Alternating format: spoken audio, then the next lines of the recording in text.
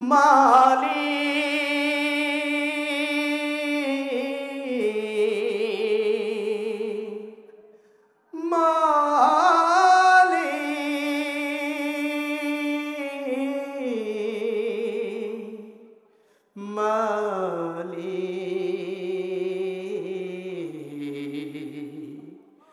একটি ঘর বানিয়ে দিও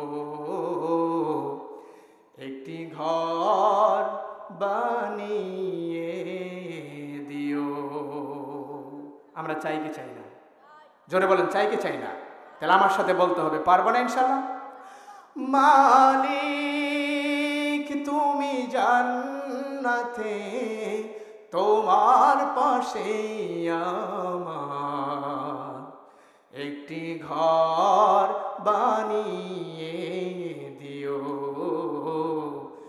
একটি ঘর বানিয়ে দিও। সে বিভীষিকাময় মহাদিনে। তোমার পাশে জায়গা দিও। মালিক, তুমি জান্নাতে। তোমার পাশে আমার একটি ঘর বানিয়ে দিও। সেদিন কেহ আসবে না কারও কোনো কাজে। যেদিন পাপি পাপের বোঝায় মরবে না যে। ঠিক না বেঠি। পুলসিরা পার হতে গিয়ে পিছলে যাবে কত পথি? আবার কেহ পণ্য নিয়ে পার হয়ে যাবে ঠিক ঠিক। সে মহাদিনে, মহাক্ষণে, সে মহাদিনে, মহাক্ষণে জান্নাতি করে নিও। মালিক, তুমি জান্নাতে, তোমার পাশে আমার একটি ঘর বানিয়ে দিও। তুমি দিও হাউসে কাউসারে পাশে স্থান দিও তুমি শীতলার সে নিচে সম্মান। প্রিয় রসুনে প্রিয় উম্মা, পার হয়ে যাবে মহাবিচার। পরমানন্দে জান্নাতে সাজাবে নব সংসার। সে মহানন্দে জান্নাতে, সে মহানন্দে জন্নতে নবীর পাশে যায় গাদিও মালিক, তুমি জান্নাতে, তোমার পাশে আমার একটি ঘর বানিয়ে দিও। একটি ঘর বানিয়ে দিও। জোরে বলুন, আল্লাহ আকবার। আল্লাহ তালা আমাদের সকলকে জান্নাতি হিসেবে কবুল করে নিক, বলুন আমিন। সম্মানিত সুদী, সামান্য একটি হাদিস বলে আমি আর আমি আমার আলোচনাকে শেষ করব। হাদিসের মধ্যে এসেছে, আল্লাহ পাক রব্বুল আলামিন জাহান্নাম থেকে সর্বশেষ যে ব্যক্তিকে জান্নাতের মধ্যে প্রদান করবেন। আল্লাহ পাক রব্বুল আলামিন হযরতে জিব্রাইলকে বলবেন, হে জিব্রাইল, যা যা যা। জাহান্নামের মধ্যে যা গিয়ে দেখ, আমার বান্দাদের অবস্থা কি? আল্লাহর বান্দা তখন হজরতে জেব্রাইল আলাইহিস সালাতু ওয়াস সালাম জাহান্নামের মধ্যে গিয়ে দেখবে জাহান্নামীদের অবস্থা ভালো না। আল্লাহ কি গিয়ে বলবে? আল্লাহ, জাহান্নামীদের অবস্থা ভালো না। তারা চিৎকার করছে, কান্নাকাটি করছে। এবার আবার হাজার বছর যখন চলে যাবে, আল্লাহ পাক রব্বুল আলামিন বলবে, জিব্রাইল, যা যা, জাহান্নামের অমুক জায়গার ভিতরে গিয়ে দেখবি, একজন জাহান্নামী ব্যক্তি আমাকে, ইয়া হান্নান, ইয়া মান্নান বলে চিৎকার করছে। সংক্ষিপ্ত লম্বা হাদিসকে সংক্ষিপ্ত করে আপনাদের সামনে উপস্থাপন করছি। এরপরে জিব্রাইল আলাইহিস সালাম জাহান্নামের মধ্যে গিয়ে দেখবে কোনো মানুষ নাই, শুধু আমরা পড়ে আছে। আল্লাহকে বলবে, আল্লাহ, এখানে কোনো মানুষ পাওয়া যায় না, কোনো মানুষ দেখা যায় না। তবে কিছু আংরা থেকে একটা শব্দ আসে, ইয়া হান্নান, ইয়া মান্নান। ইয়া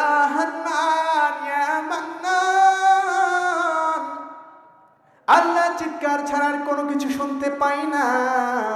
আমার আল্লাহ বলবেন, বান, হে জেব্রাইল, যা। ওই আংরাগুলোকে হাউজে কাউসারের পানির মধ্যে নিক্ষেপ কর। হাউজে কাউসারের পানি দ্বারা আমার ওই বান্দাকে ধৌত কর। কেতাবের মধ্যে এসেছে, ধৌত করবার সাথে সাথে ওই ব্যক্তির চেহারাটা হবে আঠারো থেকে পঁচিশ বছরের যুবক। জোরে বলুন সোবাহান আল্লাহ এরপরে আবার হাজার বছর চলে যাবে। ওই ব্যক্তি আবার ডাকতে থাকবে ডাকতে থাকবে, ইয়া ডাকতে থাকবে, আহাদ আহাদ, আল্লাহু সামাদ, কুল হুয়াল্লাহু আহাদ, আল্লাহু সামাদ। আবার আল্লাহর আবার রহমতের দরিয়ার মধ্যে জোশ চলে আসবে। বান্দাকে বলবে, তোকে জাহান্নাম থেকে বের করেছি। নতুন চেহারা আমি তোকে দিয়েছি, আর তুই কি চাস? বলবে, আল্লাহ কিছু চাই না। চাওয়ার মতো জবানও আমার নাই, মুখ আমার নাই। আপনি খালি আমাকে জান্নাতের সামনে রাখবেন। দুনিয়ার জমিনে জান্নাতের মহা বিবরণ আমি শুনেছি।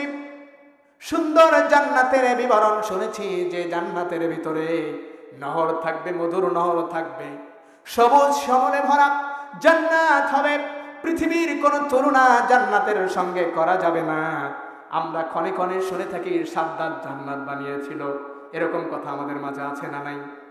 অমুসলমান জেনে রাখবেন, পৃথিবীর কোন মানুষ জান্নাতের কোন জিনিসকে বানানোর সক্ষম রাখে না। তিনি সুন্দর অট্টালিকা বানিয়েছিলেন, যে অট্টালিকা পৃথিবীর মধ্যে এখন সুন্দর, তার থেকে আরও সুন্দর সুন্দর আছে না নাই? জান্নাত বানানোর ক্ষমতা পৃথিবীর কোন মানুষের নাই, এটা কখনো বলা যাবে না। ব্যক্তি বলবে, আল্লাহ, জান্নাতের সামনে খালি রাখবেন, আর কোনো কিছু চাই না। আল্লাহ তখন তাকে জান্নাতের সামনে রাখবেন। আবার হাজার বছর চলে যাবে। আবার তিনি ডাকতে থাকবে আহার